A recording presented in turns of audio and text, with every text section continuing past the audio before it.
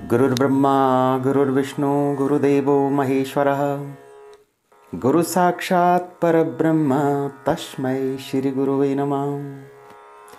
अखण्डमण्डलाकारं व्याप्तं येन चराचरं, तत्पदं दर्शितं येन तस्मै श्रीगुरुवे नमः।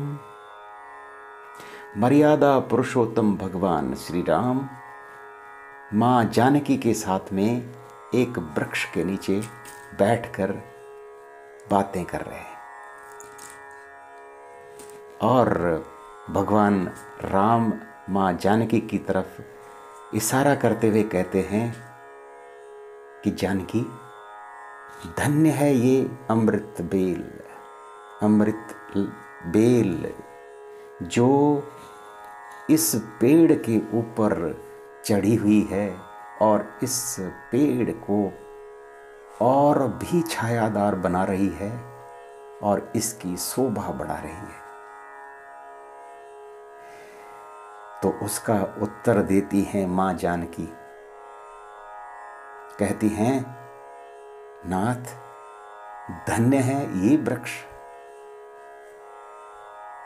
जिसने इस पतली दुबली बेल को सहारा दिया हुआ है।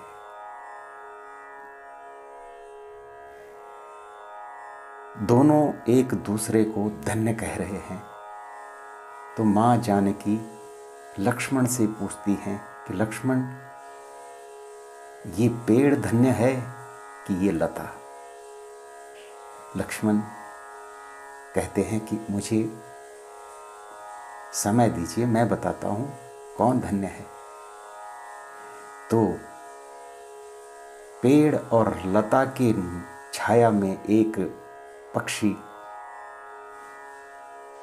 आनंदित हो रहा है। भरी दोपहरी में भी बहुत गर्मी में मज़े ले रहा है। तो लक्ष्मण जी कहते हैं, माता,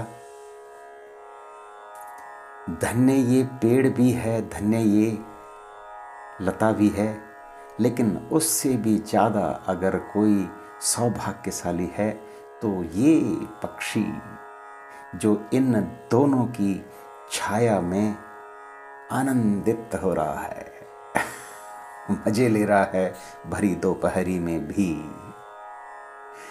तो देवी और सज्जनों, माँ और पिता देवतुल्य है, प्रत्यक्ष देवता हैं, जिन बच्चों को माँ और पिता की छत्र छाया हमेशा मिलती रहती है, आशीर्वाद जिनको हमेशा मिलता रहता है, वे सदैव आनंदित रहते हैं, प्रफुल्लित रहते हैं। हँसते, मुस्कुराते और चहुमुखी विकास करते रहते हैं। माँ और पिता प्रत्यक्ष देवता हैं, उनके चरणों में सदैव अपना प्रणाम देना चाहिए, उनको करना चाहिए। जिस तरह पेड़ को भी और लता को भी पानी से सींचना चाहिए, ठीक उसी तरह भी आप भी अपने माँ और पिताजी के चरणों को रोज धोइए। आपका कल्याण निश्चित है। आपको पेड़ का सहारा भी मिलेगा और लता की छाया भी।